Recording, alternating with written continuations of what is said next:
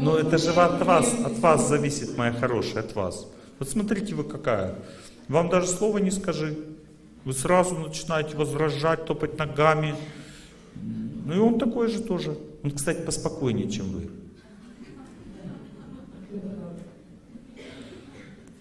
Ну, надо над собой работать, моя хорошая, начинать. Вот, допустим, вот вы начальница, допустим, где-то, да? Начальница же, да? Ну, было время начальницы, Был. перехожу в э, стадию спокойного дома. Нет, я говорю, на работе же вы начальница, да? Сейчас нет. Нет. Ну, все равно природа начальницы. Вот домой пришла, уже не начальница, все. На работе начальница, а дома уже не начальница. Дома вы смиренная, послушная, потому что есть две категории женщин. Женщина, которая топает ногами дома и вот такая, это неразумная женщина. А разумная женщина, она знает, что у нее очень много психической силы. И эту психическую силу не надо показывать мужчине. И тогда он сам будет делать так, как не надо. Вот разумные женщины знают, что и так все будет по-моему. Чуть-чуть надо подождать. Не надо мужика как бы сразу насиловать своими желаниями. Чуть-чуть подожди, и все будет по-твоему. И он счастлив-то как. Понимаете, он сам сделал, как вы хотите. Вот, вот задумайте, что вы хотите, допустим, сейчас от него. Что вы хотите? Чтобы он не кричал. Не говорите ему об этом.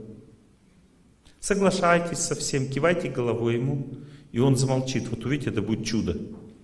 Вот как только вы начнете так себя вести, вот кивать, соглашаться, просто для того, чтобы он не кричал, не для того, чтобы он, как бы, типа вы подчинена ему, а просто, чтобы он не кричал. Киваете, соглашаетесь, и вы увидите, он перестанет кричать. Потому что он на вас кричит только по одной причине, что вы сопротивляетесь. Когда женщина сопротивляется мужчине, он включает петуха всегда. А петуха выключить мужчине очень сложно. Вот женщина сопротивляется, мужчина петуха включает. Женщина перестает сопротивляться, петух выключается. Все. И дальше что с ним хочешь делай. Когда мужик мягенький, ты что хочешь с ним делай, он совсем согласится, все. Главное петуха, главное перестань сопротивляться. С ним посмиренно себя веди и попросила там, а можно это? Можно. А это можно. А это слишком много хочешь. Все, значит, пока рано. Помолчите, потом еще пять раз спросите, он согласится. Все, вот так и живите. Если он сопротивляет, значит, действительно слишком много хочешь. Ну, да вы сейчас пока не знаете, как с ним себя вести просто. Вот когда узнаете, как себя с ним вести, тогда и будем говорить про разряды. А сейчас просто нет никаких отношений, потому что вы не знаете просто, как себя с ним вести. В семье отношения создает женщина. Она как себя заняла позицию после мужика, так и будет жизнь протекать. Вот если вы правильно себя начали вести, все, он сразу успокоился. Ему же много не надо. Ему надо, чтобы его уважали как мужчину просто, и все. Вот ему только надо это в жизни. И представляете, он до сих пор вас терпит. Вот сколько лет уже прошло? 27 в совместном браке и 5 дома. Ну вот, видите, он до сих пор терпит. Вот золотой человек, ему памятник надо поставить вообще. Ну, считаю, что проблема браке пассивных обязанностей.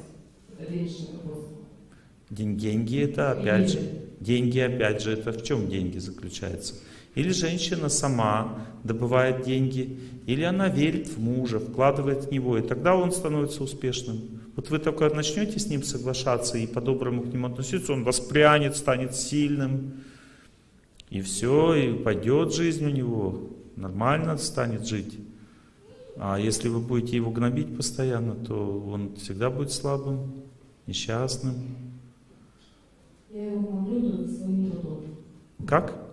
Я его гноблю только своим трудом. То, что я могу больше, а он меньше. Ловите вы его, да, на этом? Это он так. Ну, в смысле говорит, что я его сам. Конечно. Я уже не прошу, мне, как вы говорили, мы просто же мы... А что, у нас музыка-то есть, нет? Или всегда надо просить?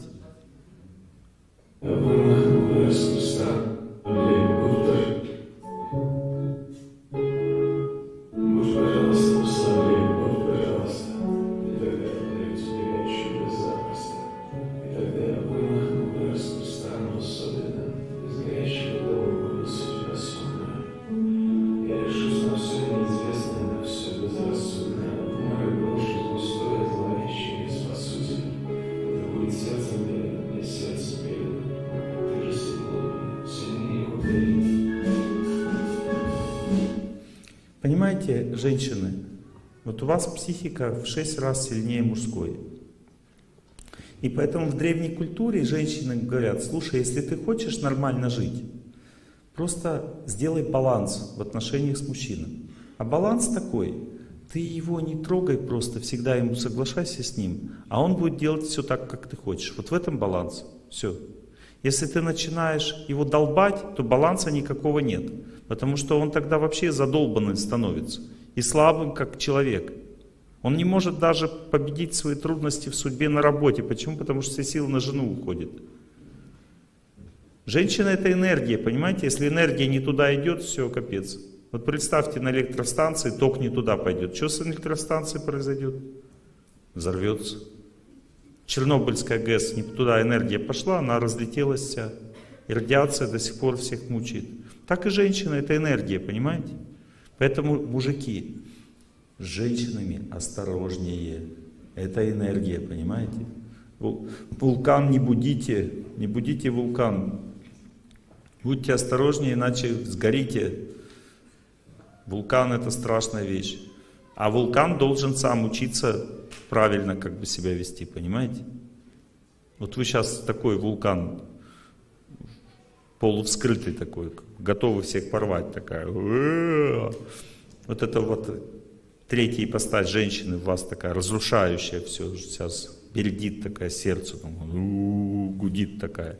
А так как у вас характер сильный, то не дай Бог. Поэтому вы успокойтесь, сердце свое успокойте. Начните соглашаться, терпеть больше. Пускай будет, как он хочет все. Но получится все, как вы хотите. Вы меня послушайте просто, и вы увидите, что так и есть. Ну вот, молодец. Подружка у вас разумная, ее слушайтесь больше. Она вам всю правду будет говорить тоже вместе со мной.